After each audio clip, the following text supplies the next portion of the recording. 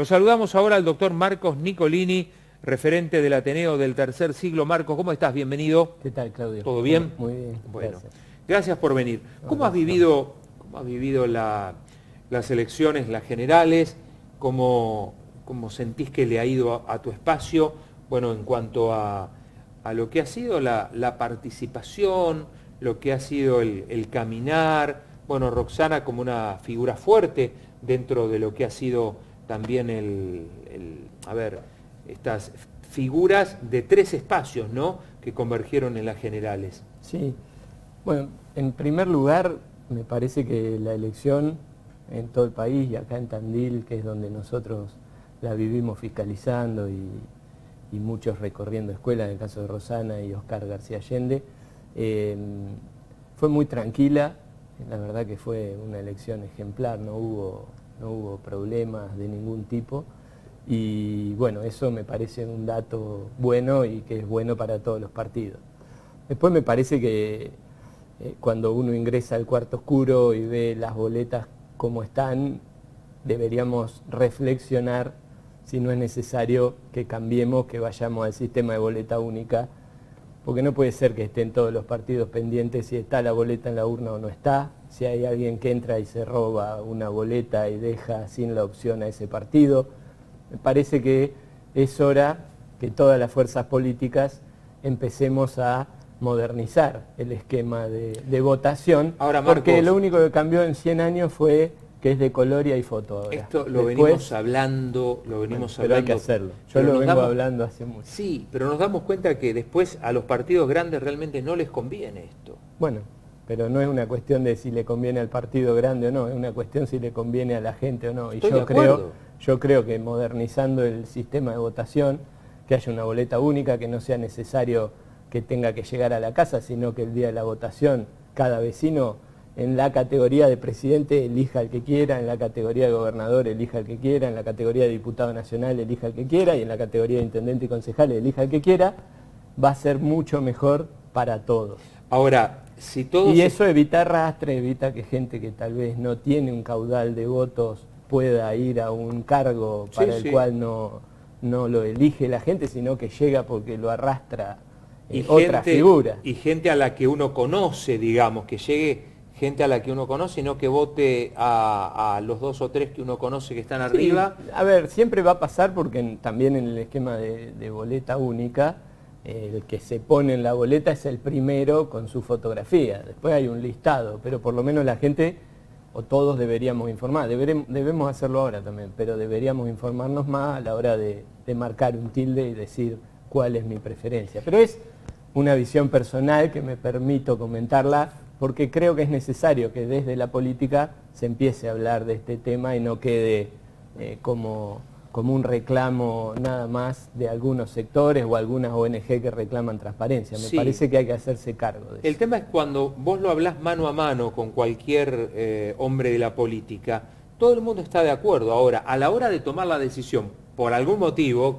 que creo claramente cuál es, no toman esa decisión. Y bueno, es cuestión de seguir insistiendo y de seguir planteándolo y realmente cuando uno tiene posibilidades reales de, influir en eso, seguir pensando lo mismo, no cambiar porque me conviene ahora que estoy en el gobierno. Pero ¿no, te parece que cuando se llega a algún lugar es como que se deja de hacer Lo que pasa es que también en, Argentina, lamentablemente, en la provincia de Buenos Aires, hay tantos problemas que cuando uno llega al gobierno tiene que solucionar eh, rápidamente muchísimas cuestiones también, lamentablemente, no tenemos eh, definido cuál es la línea de país. Todavía no tenemos definida cuál es la línea de país para llegar al desarrollo.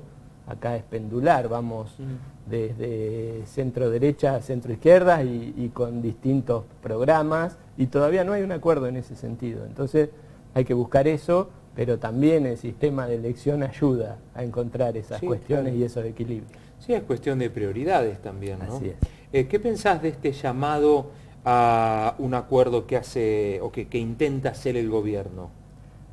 Yo creo que es fundamental y, recuerdo, y salvando la distancia y no, haciendo comparaciones, cuando De la Rúa, después de perder la elección intermedia, llamó a un gobierno de unidad nacional y en ese momento el peronismo dijo que no.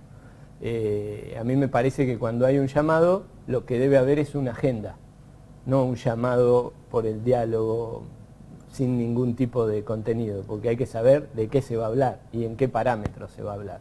No se puede hablar nada más de lo que quiere el gobierno, también tiene que hablarse de lo que la oposición quiere hablar.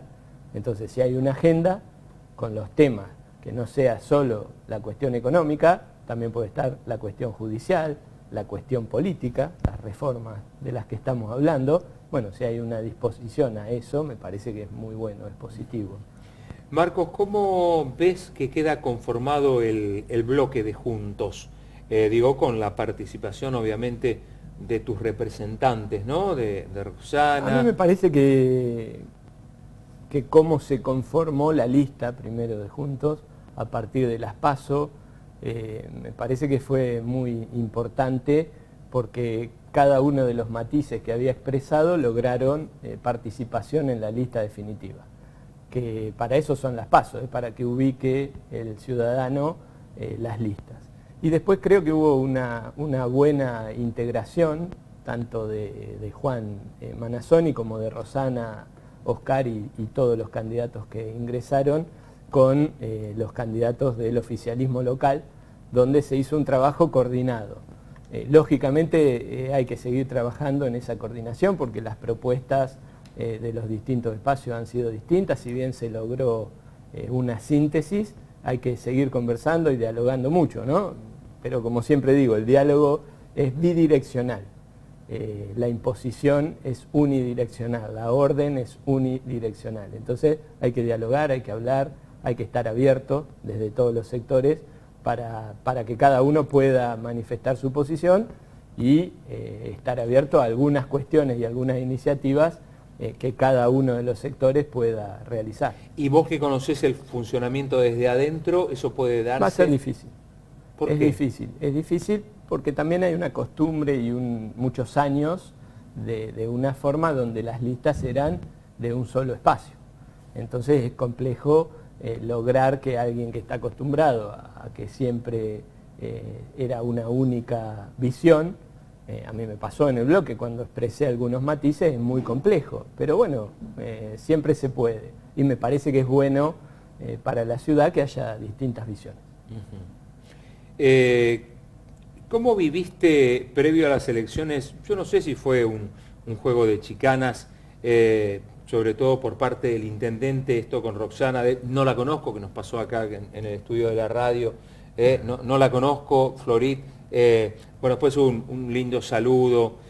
¿Cómo lo viviste eso? No, a ver, Rosana es una persona excelente, la verdad que tiene una fuerza, yo la conozco hace un tiempo ya y, cada vez me sorprendo más de la personalidad que tiene y cómo, cómo saca fuerza eh, para seguir adelante. Me parece que va a ser una excelente concejal y, también Oscar García Allende, con distintos estilos ambos, pero, pero muy convencidos y muy convencidos de aportar, que eso me parece que es lo más valioso. Eh, ninguno de los dos estuvo buscando un cargo eh, para, para, para sí, sino que quieren representar realmente, tienen vocación de escuchar y de trabajar mucho, mucha vocación de trabajo. Así que yo me enfoco en eso y, en ninguna otra cuestión. Me parece que, lo de Rosana en la campaña demostró que es una persona valiosa y que, bueno, que nos va a representar muy bien a todos los tandilenses. Y en una cuestión central, eh, y que después de la pandemia salió en carne viva, que es la educación. ¿no? Ella tiene mucho conocimiento de eso y creo que va a ser un aporte importante, más allá de todos los otros temas que como concejal va a tener la responsabilidad de tratar. Sí, eh, pero más allá de eso, y el expertise que ella tiene en, educación, tiene una manera de ser que es no quedarse callada. Es decir, creo que no va a haber nada, eh, nada, absolutamente nada que ella se quede con ganas de decir. Sea en el bloque, eh, sea dentro de... Sí, me parece que son características que compartimos, ¿no? ninguno de, los, dos del espacio se queda, o dentro de nuestro espacio también, ¿no? Se hablan las cosas y, se resuelve. Eh, te voy a preguntar después de, la pausa, Marcos, eh, de acá dos años, ¿cómo, te ves ¿no? Siempre manifestaste tus ganas de ser, de ser intendente. Eh, pueden ocurrir varias cosas. Ahora, desde el oficialismo nacional, se está especulando con derogar una ley que tiene que ver con eh, bueno, darle la posibilidad nuevamente a los intendentes de reelección indefinida. Eso habilitaría, llegado el caso, a que el intendente pueda volver a hacerlo si es que él, si es que él quisiera. Bueno, algunas reflexiones en este sentido, si te parece. Pero después de la pausa. Sin ningún problema. El doctor Marcos Nicolini está charlando con nosotros, aquí compartiendo el desayuno que sigue en minutos nada más. Seguimos compartiendo nuestro desayuno con el doctor Marcos Nicolini una pregunta que había quedado pendiente, bueno, pensando eh, un poco en, los deseos que él tiene también de ser candidato a intendente dentro de dos años. ¿Qué pasa si esto de lo que se viene hablando a nivel nacional en cuanto a modificar una ley, una interpretación de la ley, la cual, eh, de la cual, hoy por hoy el intendente no puede ser reelecto indefinidamente, con lo cual el intendente Lungui, según la interpretación de la ley que se da hoy por hoy, no podría ser reelecto. ¿Qué pasa si esto cambia, Marcos?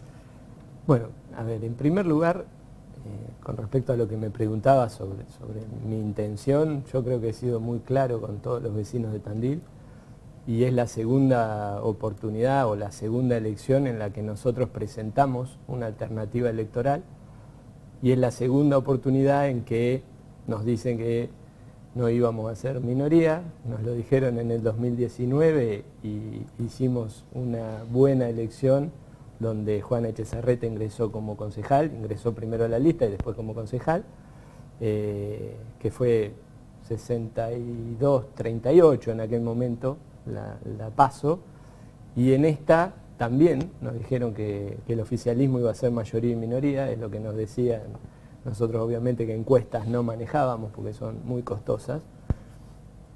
Y también hicimos eh, minoría. Así que en primer lugar un, un gran agradecimiento a, los ciudadanos de Tandil porque confían en nosotros y, nos acompañan para que sigamos en, esta, en esta carrera, en esta senda. Eh, y como no hay dos sin tres, vamos a estar. En, el 2023 vamos a estar. Pero Vamos a hablar mucho más adelante de eso. Con respecto a lo que me decís... Perdóname, pero tu intención de ser intendente sigue intacta. Sí, sí, sí. Yo creo que, hay que darle alternativas a la ciudadanía. Bueno, creo que somos una alternativa seria como equipo de trabajo y venimos trabajando ya hace varios años, eh, presentando propuestas, no, no estamos presentando solo personas. Nosotros cada una de las elecciones que nos presentamos hemos presentado proyectos y la gente conoce antes de elegir nuestra boleta cuáles son nuestros proyectos y tenemos la convicción de llevarlos adelante también. Correcto. Así que desde ese punto de vista estamos convencidos. Y con respecto al cambio de la ley, a mí me parece que sería un retroceso, eh, porque la institucionalidad se hace con eh, tiempo.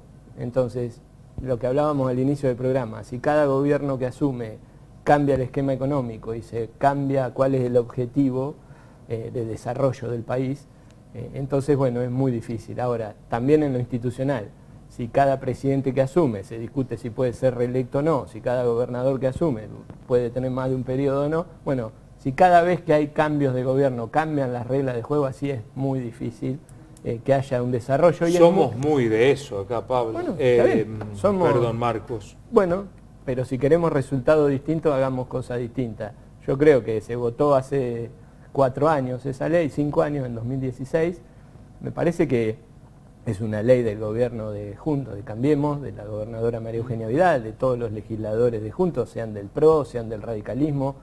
Ah, yo estuve de acuerdo y estoy de acuerdo con la limitación, porque como te decía antes, es muy difícil enfrentar al poder y es muy difícil que surjan alternativas cuando hay un poder muy fuerte y, un poder eh, con muchos recursos teniendo la gestión eh, para poder eh, mostrar que es correcto. A ver, la gestión ha sido buena, yo no, digo nada, he sido parte de, esa gestión, estoy orgulloso de eso. Así que, pero me parece que tiene que haber limitación en los mandatos de presidente, de gobernador, de legisladores y también de intendente para que surjan alternativas. Si no, eh, lo hablábamos antes, Sanatelli es muy posible que siguiera siendo intendente o algunos presidentes muy fuertes es posible que sigan siendo presidentes si no tenían la limitación constitucional de que no podían presentarse a una segunda reelección. Marcos, eh, ¿vos crees que si esta ley cambia, eh, Lungui se presenta de nuevo? No creo que sea conveniente para la institucionalidad de la provincia que cambie. El claro ejemplo es en, el sindicalismo donde hay posibilidad de reelección indefinida y donde no hay eh, representación. La lista que gana se lleva todos los cargos. ¿sí? Ese, es un claro ejemplo. Todos los gremios importantes de la Argentina, ¿cuánto hace que no cambian su conducción? Bueno, es lo mismo. Entonces es muy complejo que desde dentro del gremio surja una alternativa para enfrentar a, ese líder sindical, porque siempre tiene la posibilidad de reelección.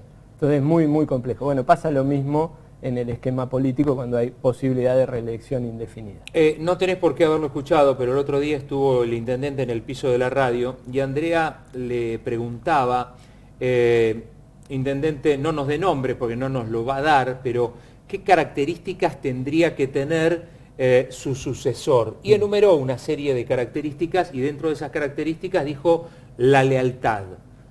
Tiene que haber sido una persona que haya sido leal. ¿Te sentiste excluido ahí? No, para nada. Yo he sido absolutamente leal. Mientras estuve en el gobierno, absolutamente leal y siempre he sido absolutamente leal con mis principios y mis valores. Yo no los cambio. Yo vengo de la Unión Cívica Radical, un partido que dice que no hay que acumular cargos que no hay que hacer reelecciones indefinidas, lo ha postulado permanentemente. Raúl Alfonsín incluyó la cláusula de limitación de reelecciones, de mandatos de reelección, eh, cuando se modificó la Constitución. Ah, pero yo creo que él estaba hablando de lealtad a él, creo, eh, creo, creo, no. no le repreguntamos esto, no, no, no, bueno, creo que estaba hablando de lealtad a él. me has preguntado y yo te... No, no, está bien, está bien. Mientras participé del gobierno he sido absolutamente consecuente con las políticas del gobierno, de hecho en cada lugar que me, tocó estar lo hice con la mayor responsabilidad, eh, trabajando muchísimas horas y, creo que hemos generado una alternativa porque como te digo, somos fieles a los principios y leales a nuestros principios. Yo no he quebrado ninguna de mis convicciones. No he cambiado para nada y sigo pensando lo mismo, sea quien sea. Un saludo para Marcos, excelente persona, nuestro próximo intendente. y pone el icono de fuerza, dice acá. Eh, a ver qué otro mensaje, porque habían llegado varios. Dice, saludos a Marcos, que ha conformado un espacio con gente como Roxana y Oscar, nueva en la política, ciudadanos con ganas de hacer. Cuando el objetivo es claro, no importa el contrincante. Marcos 2023, dice, una cosa es la lealtad a los principios, otra es ser obsecuente. Coincido. Dice... De mí no la van a tener la obsecuencia nunca. Dice Graciela. Bueno, algunos de los mensajes que han, que han llegado en este caso. Marcos, te agradecemos mucho que, hayas venido. Eh, bueno, sos permanente invitado. Bueno, muchas gracias a vos y bueno, eh, agradezco a todos los ciudadanos de Tandil por la, por la elección, por la participación, por el respeto con que nos han tratado los que no nos votaron y quienes sí lo hicieron. La verdad que, ha sido excelente para nosotros poder recorrer la ciudad después de una pandemia que fue durísima para todos y donde se ven los dolores que nos atraviesan. ¿no? Entonces también hay que ser muy responsable ahora eh, en este tiempo que viene de acompañar en la salida de la pandemia, de ayudar en todo lo que se pueda desde el Estado a la recuperación. Ayudar, digo, con algunos gestos, con algunos incentivos económicos, bueno, me parece que, que hay posibilidades de hacer eso y debemos hacerlo. Ha sido muy, muy duro para todos. Gracias, Marcos. Muchas gracias a vos, muy amable.